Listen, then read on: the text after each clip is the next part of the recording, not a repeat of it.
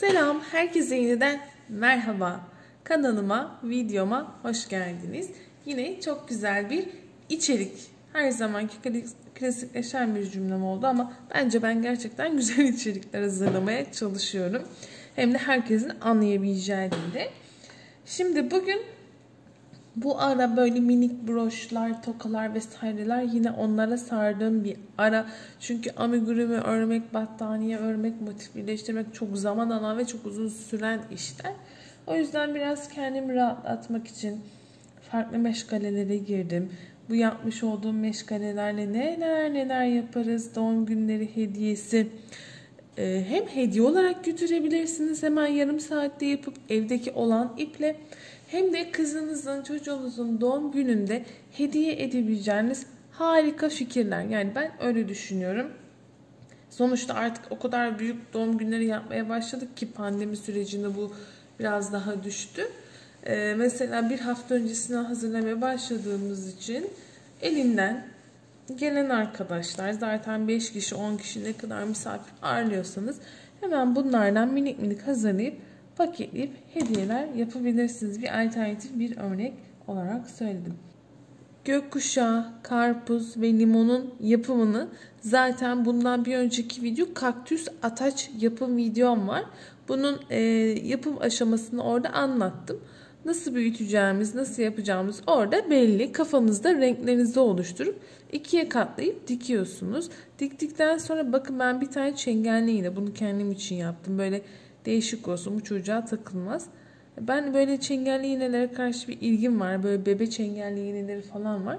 Bunu takıp kullandığım montlarıma, tişörtlerime takmaya bayılıyorum.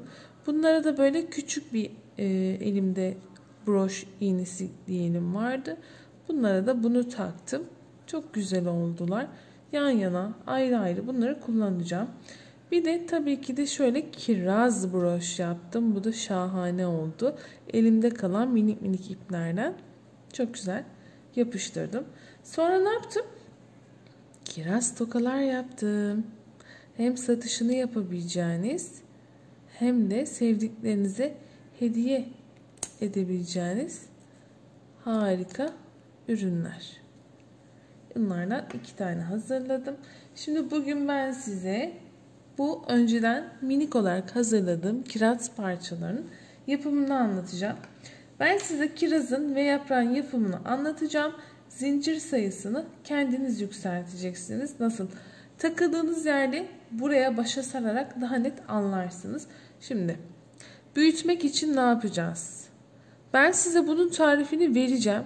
Tamam mı? Bunu yapacağız. Ben biraz daha büyük yapmak istiyorum Betül derseniz, sayı arttırmayı anlamadım derseniz ipi iki kat kullanın ya da daha kalın ip kullanın. Bir diğer alternatif de şimdi bu küçüğü anlatırken hep arttırma işlemi yapacağız. Ondan sonra düz örme sırası yapacağız. Büyütmek için de bir sık iğne bir arttırma yapacağız. Anlaşıldı mı? Şimdi ben pembeyi anlatırken bu kısmı tekrar edeceğim. Şimdi sihirli halka yapıyorum.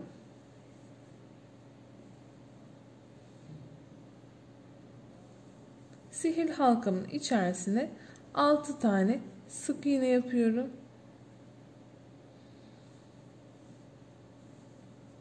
Bir, iki, üç, dört, 5 ve 6. 6 tane sık iğnemizi yaptım. Sıktırdım. Ve hemen buradaki sırası gelen buraya tabii ki yeni başlayanlar yer belirleyici herhangi farklı bir renkte ip koysunlar. Çünkü spiral örgü olacağı için nerede başladığınızı, nerede bittiğinizi bulamayabilirsiniz yeni başlayanlar. Şimdi sırası gelen ilk sık iğne tepesine giriyorum. Ve şu fazlalığı da arada gizleyeceğim. Şimdi bunun tepesine bir sık iğne yaptım. Yine aynı yere ikinci sık iğneyi de yapacağım. Devam ediyorum. Sırası gelen diğer sık iğneye. Yani her bir sık iğne tepesine ikişer tane sık iğne yaparak toplamda 12 adet sık iğne elde edelim.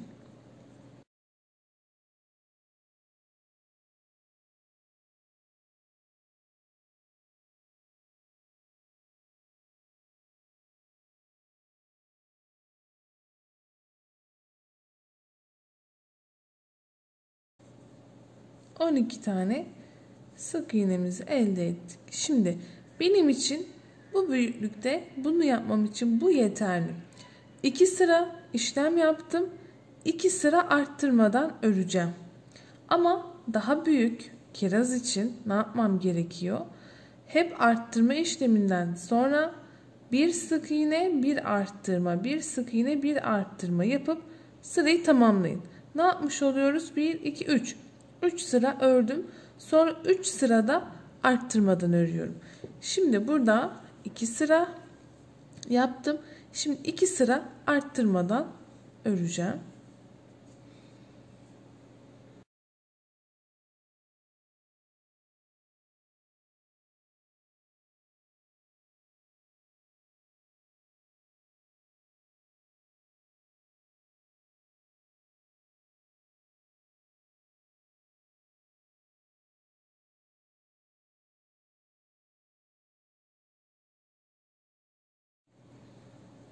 İki sıra arttırmadan ördüm.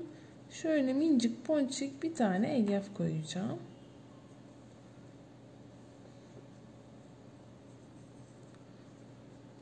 Burada bir tane yer belirleyici koyalım.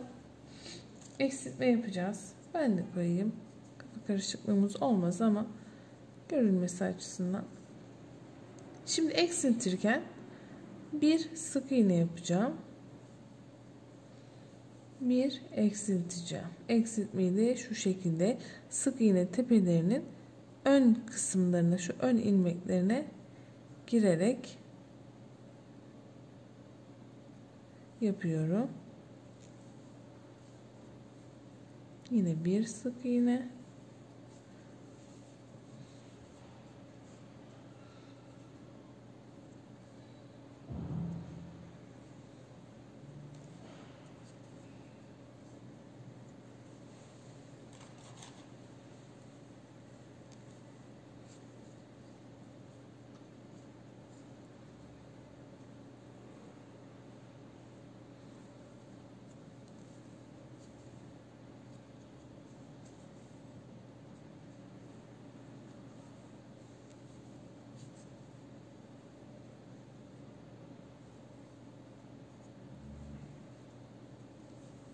bir sık iğne bir eksiltmemizi yaptık.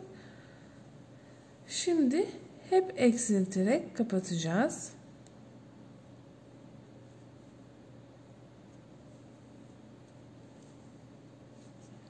Birinci eksilttim.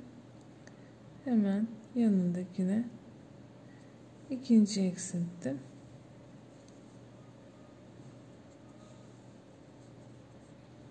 Ve üçüncüye eksilttim. Siz yer belirleyici çıkarmadan yapın. Şimdi içini biraz daha doldurabilirmişim. Önemli değil. İpini birazcık uzun bırakıp ağzını dikeceğiz.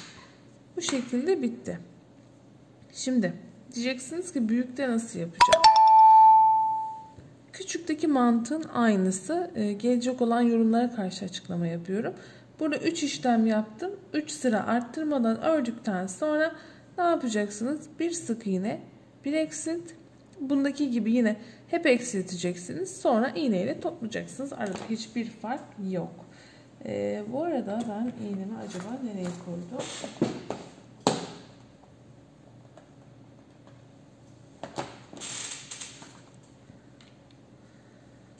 Ve ağzını şimdi topluyorum.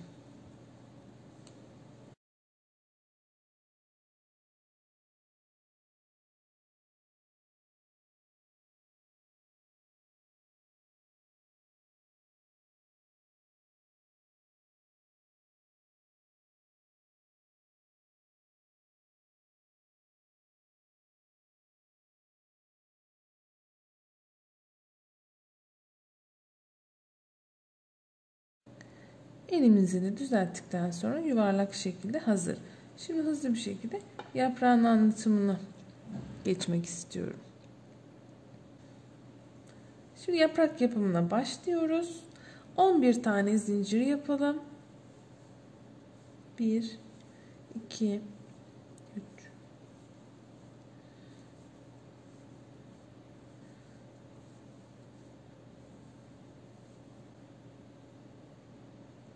11 tane zincirimizi yaptık. Şimdi ikinci zincirden itibaren giriyoruz. Şöyle bir ilmek kaydırıyoruz. Devam ediyoruz. Yanındaki zincirin yine bu şekilde içine giriyoruz. Bir sık iğne yaptım. Devam ediyorum. İkinci sık iğnemi de yaptım. Şimdi tığımı ipimi doladım. Sırası gelen zincirin içerisine giriyorum ve bir kere de boşaltıyorum. Buna bir yarım trabzan deniyor. Devam ediyorum. İki tane de yarım trabzan yaptım. Şimdi tığıma yine ipimi aldım. Yapıyorum. Bir trabzan. Normal ikili trabzan yaptım bir tane. Şimdi ikinci ikili trabzanımı yapıyorum. Ve şimdi üçüncüyü yapıyorum. Üç tane trabzan yaptım ve sırası gelen diğer zincirin içerisine bir yarım trabzan yapıyorum. Ve şuradaki diğer sonuncu zincirin içine de bir iki tane sık iğne yapıyorum. Bu tarafta yapmış olduğum işlemin aynısını bu tarafta yapacağım. Şimdi ee, buraya bir yarım trabzan çünkü ne yapmıştık burada? Trabzandan sonra bir yarım trabzan. Sonra aynı yere iki sık iğne yaptık. Çevirdiğimizde hemen bunun karşı hizasına gelen diğer tarafta boşta kalan zincirin içine bir yarım trabzan yaptım. Ve şimdi 3 tane trabzan yapacağım.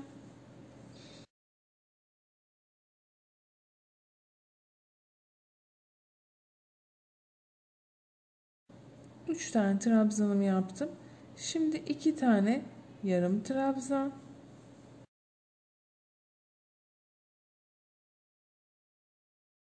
iki tane yarım trabzan ve iki tane sık iğne aynı diğer tarafta yaptığımız işlemin aynısı ve bir ilmek kaydırma yapacağız. Evet yaprağımız hazır. Şimdi buradaki son sık zincire de Şöyle girelim.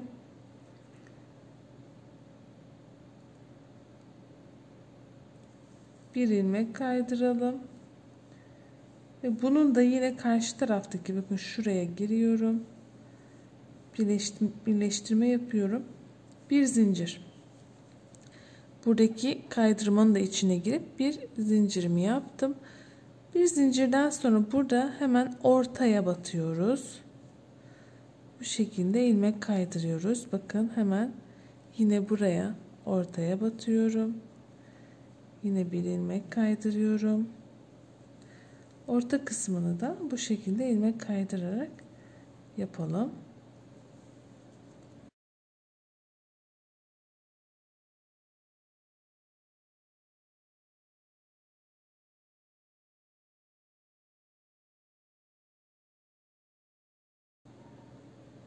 Sonuncuyu da bu şekilde alttan geçirdim.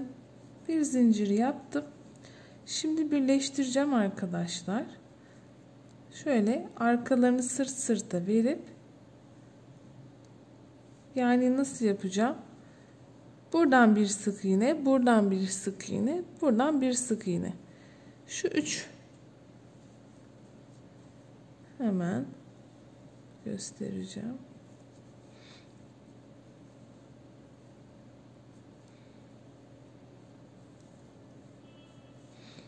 Karşı tarafta da aynı şekilde.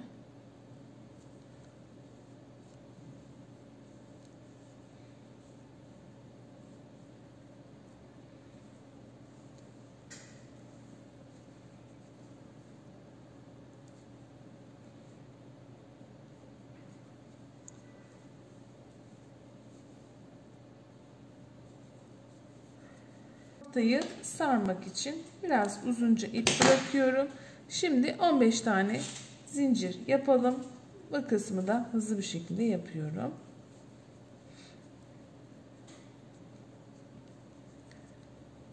Yaprak böyle hazır olacak.